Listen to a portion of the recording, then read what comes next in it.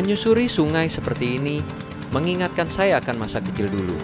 Masa ketika saya masih dapat mandi dan bermain dengan teman-teman di sungai jernih di daerah Surakarta di kaki Gunung Lau. Saya rasa itu adalah masa yang membuat saya terpaut dengan alam pertama kali.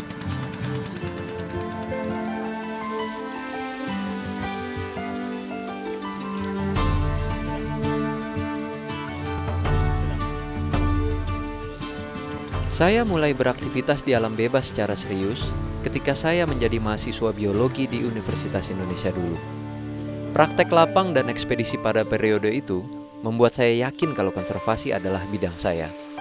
Saya pun meneruskan pendidikan saya hingga jenjang doktorat.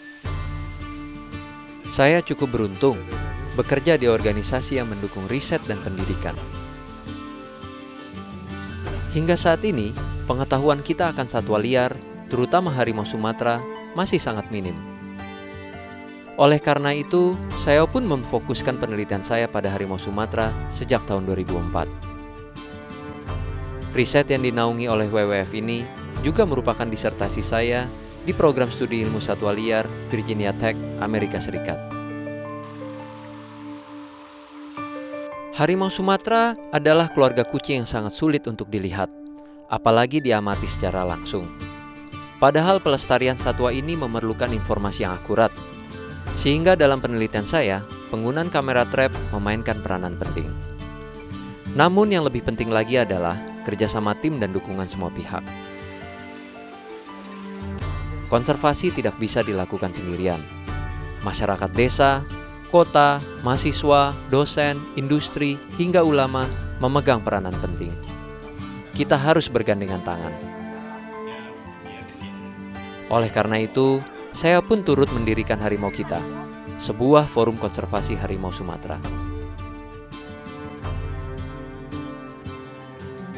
Bekerja dengan satwa liar menuntut kita berada di lapangan dalam jangka waktu lama.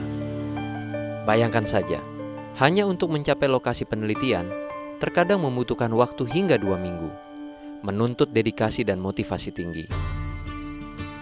Tapi hal ini adalah sesuatu yang bisa saya dapatkan dari tim kerja saya, tanpa ragu. Memahami dan menjaga harimau berarti memahami dan menjaga diri kita sendiri. Menjaga harimau dan satwa liar sama artinya kita menjaga lingkungan pendukung hidup kita. Bagi saya, harimau adalah kita.